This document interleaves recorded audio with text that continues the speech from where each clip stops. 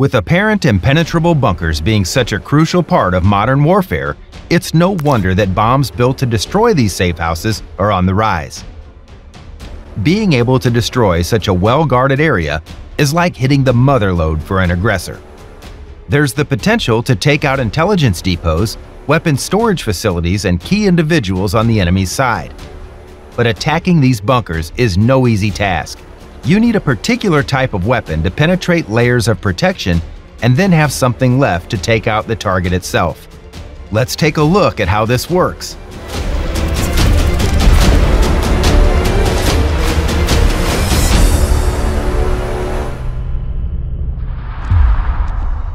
Bunker bombs are much more than just throwing a bigger explosive in the direction of the target. Bunker busters are special purpose bombs where the sole purpose is to punch through ground, concrete, or whatever is blocking a target. This kind of bomb has been around since World War II, when British Air Force aviators developed 22,000-pound blockbuster or earthquake bombs to penetrate Nazi bunkers. In 1944, the German battleship Tirpitz, the sister ship to the Bismarck, was hit by this kind of bomb and sank technology has advanced a long way since the Tirpitz was sunk. Modern bunker busters work a lot like a full metal jacket bullet. The copper jacket covering the lead bullet lets the slug go more easily through whatever it's fired at. Bunker bombs use the same concept, but instead of a copper jacket, it's a hardened steel case. And instead of a bullet, the bomb contains powerful explosives. More recent designs for bunker buster missiles began around the bombing campaign against Yugoslavia.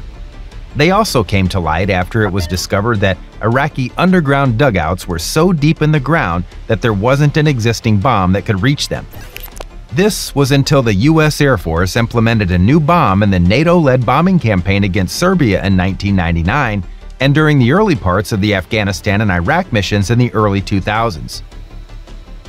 At the height of the First Gulf War, U.S. fighter jets struck an underground shelter for civilians in Iraq's Amrira city, killing 400 people. A decade later, in the Second Iraq War, the U.S. again invaded Iraq, and its bomber jets heavily pounded Baghdad with bunker busters. The U.S. said they were using the weapon to hit underground command centers of the Iraqi army and bring the war to a quick end. Israel has also used bunker bombs to get to heavily fortified Palestinian command centers. One particular significant drop of this type of weapon happened in 2014.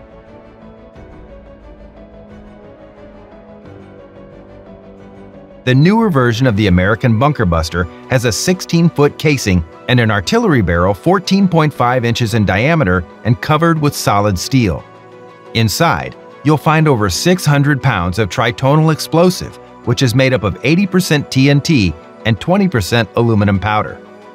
The nose of the bomb provides accuracy with a laser guidance system. This shines a light upon the designated target so the bomb knows precisely what it's aiming for. So that it stays accurate, there are tall retractable fins at the end of the bomb to help keep it stable. This new design was named the GBU-28 and it weighed approximately 4,400 pounds at a massive 19 feet tall. The bomb is dropped from a plane, so that the bomb picks up a huge amount of speed and kinetic energy, which allows it to penetrate thick defenses. The principle therefore uses basic physics to use gravity as the most effective means of propulsion. So when the bomb hits the Earth, it's like a massive shot from a nail gun. In tests, the GBU-28 has penetrated a huge 100 feet of earth or 20 feet of concrete.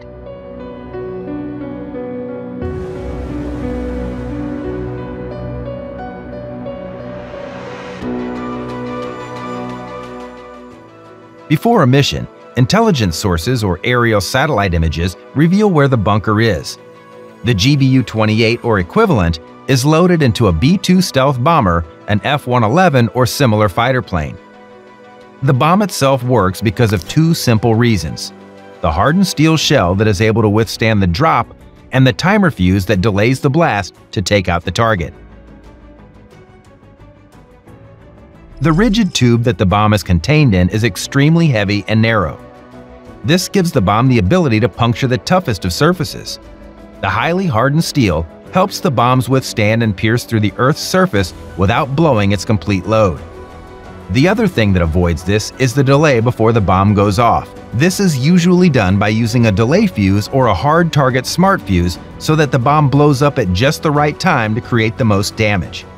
It's clear that bunker bombs offer a massive advantage during warfare as they can penetrate targets that no other bombs can get to, even if bunkers are deep underground. But they're not without their disadvantages.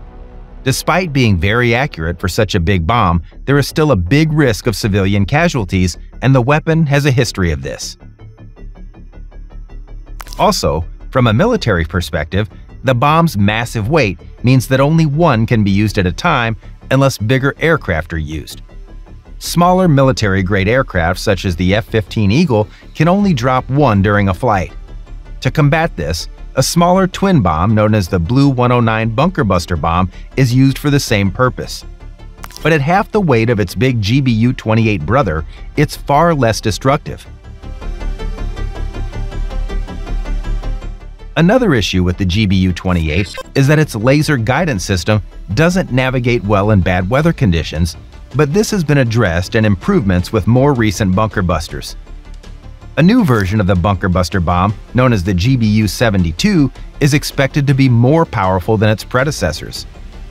A few tests of the new design were carried out in 2021, and new trials continued throughout 2022. Some primary differences between the older and newer designs revolve around their weight and internal navigation system. With the new GPS-assisted internal navigation system, the GBU-72 will have the ability to work under any weather conditions and solve a major issue with its predecessor. The issue with weight has also been solved. With a 600-pound weight difference, the GBU-72 can also be carried by different bombers like a conventional strategic bomber or a stealth bomber. Bunkers are only continuing to be a feature when it comes to modern warfare and protecting assets. Nations like Iran and North Korea insist on using these to protect their most prized assets. This means now more than ever, bunker bombs are crucial to combat these threats. Hamas has been the latest group to employ the tactic of burrowing deep into the ground to hoard weapons and other assets. This has reignited the debate of using bunker bombs to neutralize this stockpile and potentially protect civilian lives. But as we've seen over the years, it's not quite as simple as this, and bunker bombs come with significant consequences. What do you think about bunker bombs? Let us know in the comments and please like this video if you've enjoyed it. Thanks for watching.